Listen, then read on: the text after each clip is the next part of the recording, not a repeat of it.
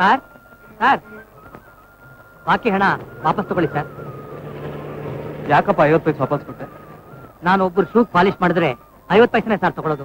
Very good honest fellow thank you sir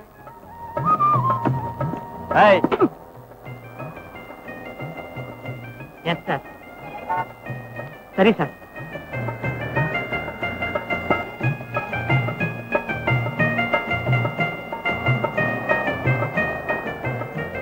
ಆಯ್ತು sir. Sir ಏನು? ಹಾಗೆ ಹೋಗ್ತಿದ್ದೀರಲ್ಲ ಸರ್? ಏನ್ ಮಾಡ್ಬೇಕು? ಪಾಲಿಶ್ ಹಾಕಿದ್ದಕ್ಕೆ ದುಡ್ಡು? ಎಷ್ಟು? ಐವತ್ತು ಪೈಸೆ ಸರ್. ಹ್ಮ್.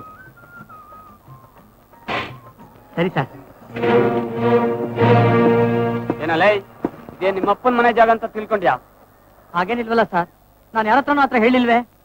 ಫುಟ್ಪಾತ್ ಇರೋದು ವ್ಯಾಪಾರ ಮಾಡಕ್ಕಲ್ಲ. ಜನ ಓಡಾಡಕ್ಕೆ. ಪಬ್ಲಿಕ್ ತೊಂದರೆ ಕೊಡ್ತೀಯಾ? ಹೇಳೋ ಮೇಲೆ. ಸರ್, ನಾನು ಒಬ್ಬನೇ ಅಂಗಡಿ ಇಟ್ಟಿಲ್ವಲ್ಲ ಅವರು ಎಲ್ಲ ಅಂಗಡಿ ಇಟ್ಟಿದಾರಲ್ಲ ಸರ್. ಎತ್ತೋ ನನ್ನ ಮಗನೆ ಅಂದ್ರೆ ತಲೆ ಎಲ್ಲ ಮಾತಾಡ್ತೀಯಾ?